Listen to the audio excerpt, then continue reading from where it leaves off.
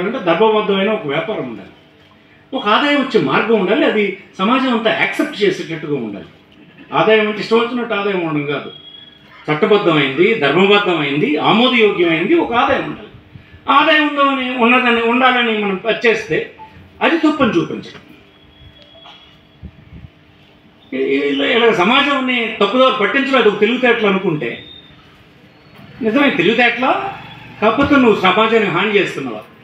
సరైన మార్గంలో నడిపించాల్సిన నడిపించకుండా తప్పుదారి పెట్టిస్తుంటారా. కరెక్ట్ కాదు కదా? ఇవన్నీ విషయాలు అల్టిమేట్గా ప- చ- పౌరులే చైతన్యవంతులు పౌరులే తీర్పు ఇవ్వరు ప్రజాస్వామ్యం ఇవన్నీ నాలుగు సంవత్సరాల నాడు వచ్చినటువంటి కిడ్కి జగన్మోహన్ రెడ్డి అడుగుతున్నాగా అది చేయలేదు ఇది చేయలేదు మరి పద్నాలుగు సంవత్సరాలు నువ్వు నువ్వేం చేసావు ఇక నువ్వే చెప్పాలి కదా? నాలుగు సంవత్సరాల నాడు అడిగేవాడు పద్నాలుగు సంవత్సరాల నాడు నువ్వేం చేసావు?